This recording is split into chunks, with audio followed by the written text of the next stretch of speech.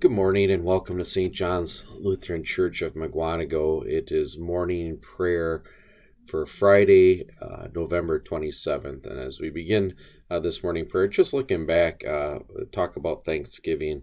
I'm thankful for these uh, devotions to have been a part of this, to be a part of this. Um, we've been able to do this now for about eight months um, running, and the feedback we get, the, the joy that is uh, to produce these and the joy that is uh, to to share these uh, moments in God's Word with you. We're thankful um, for it. Devotion's a little bit different um, this morning. I'm still on the heels of Thanksgiving, uh, just focusing on the blessings of uh, Thanksgiving. We begin. In the name of the Father, and of the Son, and of the Holy Spirit. Amen. The eyes of all look to you, O Lord. You give them their food at the proper time. You open your hand and satisfy the desires of every living thing. For the gift of this day and the opportunity to give you praise, glory to you, O Lord. For the love and warmth of family and friends, both those gathered here and those gathered elsewhere, and most of all for those gathered to the eternal home, glory to you, O Lord. For the good gift of children, grandchildren, to nurture in your love and fear, for the blessing of hearth and home. Glory to you, O Lord.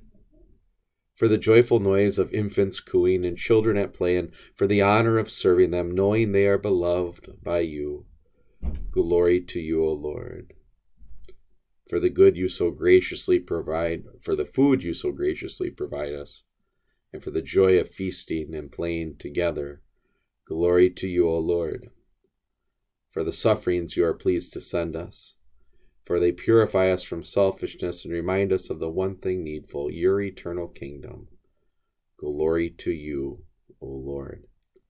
And finally, for those things for which we are most thankful, the sweet comfort of your gospel, the forgiveness of all our sins by the blood of our Lord Jesus, the promise of our resurrection to eternal life, for the joyful companionship afforded by the church, for your word, which is a lamp to our feet and a light to our path, for the gifts of baptism and the Eucharist, for our pastors and everyone who faithfully serve to us your best and highest gifts. Glory to you, O Lord.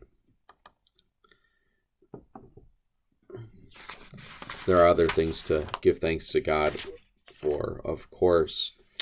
Did anything about that list strike you as odd? Maybe it's praying for the blessing of family and friends um, when for many this Thanksgiving was different in that your time with family and friends was spent on telephone or FaceTime or via a Zoom call.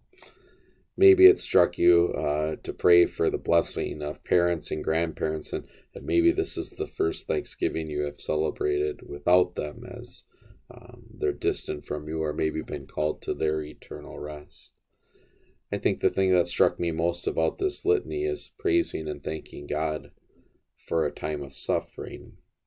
Not usually the first thing to come to my lips when I think of suffering is thank you, Lord. Um, Martin Rinkart, Lutheran pastor, 1600s, uh, wrote a hymn that uh, most, if not all of us, can associate with Thanksgiving. Now thank we all our God with hearts and hands and voices. The the history of the hymn is, is debated when exactly it was written, but I think it is fair um, either during the Thirty Years' War or on the heels of the Thirty Years' War.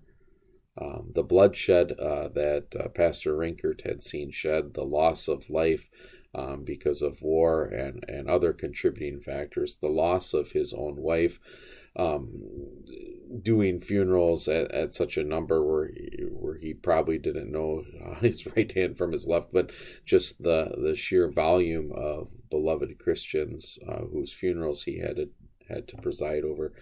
That Pastor Rinkart puts pen to paper, and the first thing that comes to God is uh, is Thanksgiving. Um, this Thanksgiving, um, 2020, um, we rejoice in all that the Lord has seen fit to give us. That which is seemingly good and that which seemingly um, is not good, trusting in His gracious hand, trusting in His promises, trusting in His rule, and most of all, trusting in the forgiveness of sins. which is which is a new uh, again for us this very day.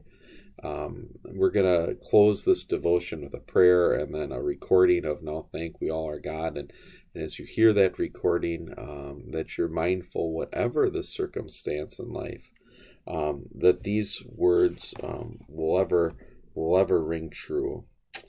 Um, now thank we all our God with hearts and hands and voices, who wondrous things has done, in whom this world rejoices, who from our mother's arms has blessed us on our way with countless gifts of love, and still is ours today. That countless gift of love still belongs to us today in our Lord Jesus Christ. We pray. Almighty God, your mercies are new every morning. You graciously provide for all our needs of body and soul. Grant us your Holy Spirit that we may acknowledge your goodness, give thanks for your benefits, and serve you in willing obedience all our days.